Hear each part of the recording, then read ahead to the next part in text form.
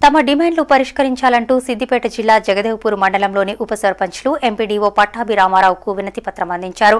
సర్వసభ్య సమావేశానికి ఉప సర్పంచ్లకు అవకాశం కల్పించడంతో పాటు సర్పంచ్లకు గౌరవ వేతనం ఇవ్వాలని కోరారు.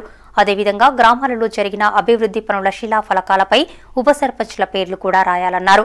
కార్యక్రమంలో ఉప సర్పంచ్ల ఫోరం జిల్లా ఉపాధ్యక్షులు సిద్దులు కోశాధికారి వెంకట్ గౌడ్ మండలాధ్యక్షుడు బింగి మల్లేశం తదితరులు పాల్గొన్నారు. అందరం కలవడం జరిగింది.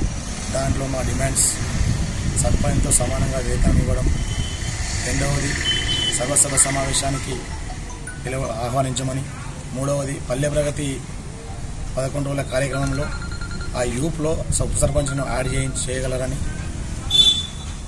మరియు అన్ని మీటింగ్లకు ఫార్మాలిటీస్ ప్రకారం అంటే ప్రోటోకాల్ ప్రకారం ఆహ్వానించమని కోరడం జరిగింది ఎంపీడీఓ గారిని.